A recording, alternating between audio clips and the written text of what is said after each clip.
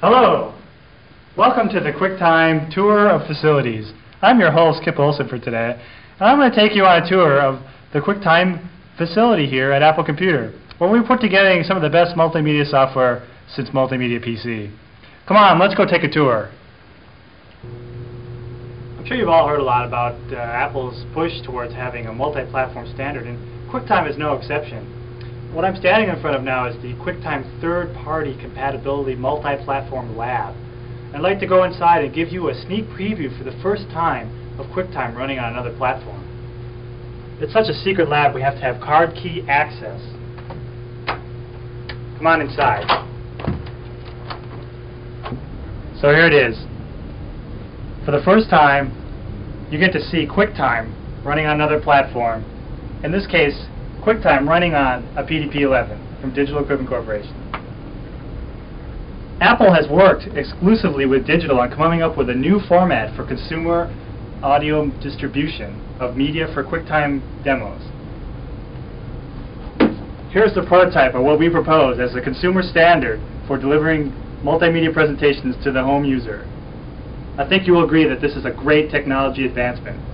So this is the QuickTime Compatibility Lab, where we test QuickTime on every CPU Apple has ever made and will ever make in the future, and has even ever thought about. We will test it first and foremost here in this lab. As you can see, we may have more racks of equipment than we've ever sold to any customers, but we feel pretty good that we are the biggest user of QuickTime anywhere. Okay, here's a bunch of the machines that we test QuickTime on. As you can see, we have uh, racks and racks of them um, that we do all of our testing on. Um, unfortunately, these machines actually are Mac Classics and can't run QuickTime. So now we're in the QuickTime Advanced Technology Research Lab. This is where our most confidential and, and really most technical research goes on. We have a whole staff of people working on a number of products using some of the equipment that you see here to really bring multimedia and QuickTime into the mainstream.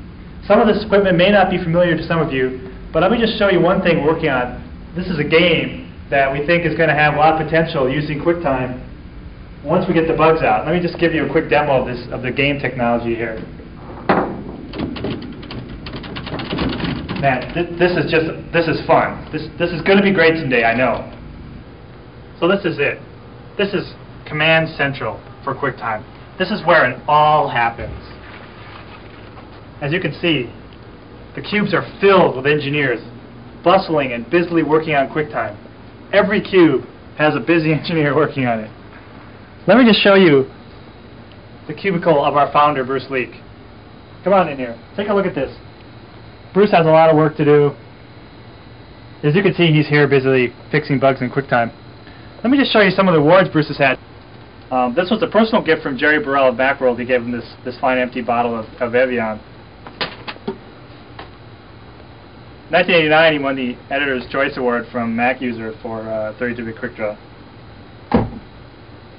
And this fine piece of crystal was also given to him in appreciation of his work on QuickTime.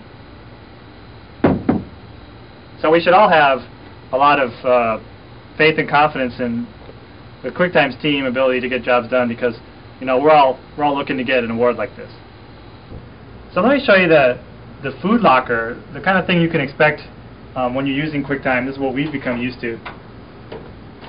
Fine uh, nourishment here for those late nights of programming.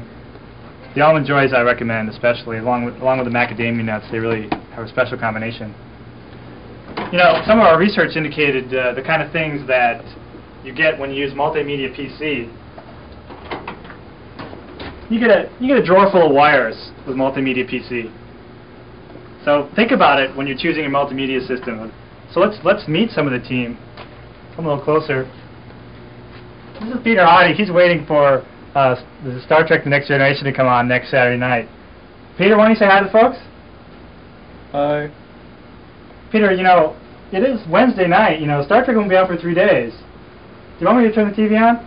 No, I... Okay, P Peter's busy. This is the QuickTime Vault. Apple provided this for us to keep our most sensitive documents so that we could have a very secure operating environment in which to deliver software. And Peter, how many times do I have to tell you to put the ho-hos in before you go out? Well, thank you for joining us today in our tour of the QuickTime facilities. We hope this was instructive and you have an even greater confidence in our ability to deliver QuickTime as a robust and on-time software solution. Thanks, and next time, have a ho-ho on me.